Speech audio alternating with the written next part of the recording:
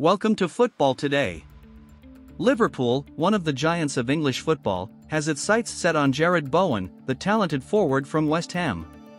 But why Bowen? And what does this mean for the future of Mohamed Salah, Liverpool's current record goalscorer? Let's dive into this story.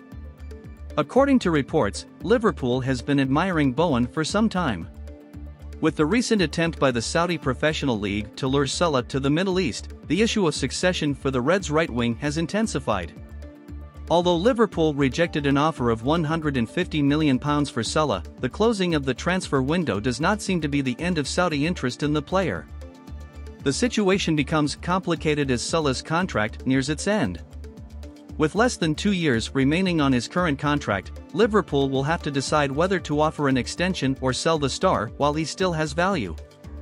In this scenario, 26 year old Bowen emerges as a possible replacement. Bowen, who started the 2023 24 season with three goals and an assist in four games, is happy at West Ham and recently became the father of twin daughters. However, his contract with West Ham also expires in 2025, which could make a transfer to Liverpool a viable option.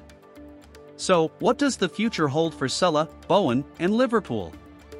Only time will tell. But one thing is certain the game of musical chairs in football never stops. Stay tuned to our channel for more news and updates. Until next time. Thank you for watching. Subscribe to our channel to continue receiving the latest updates from the world of football.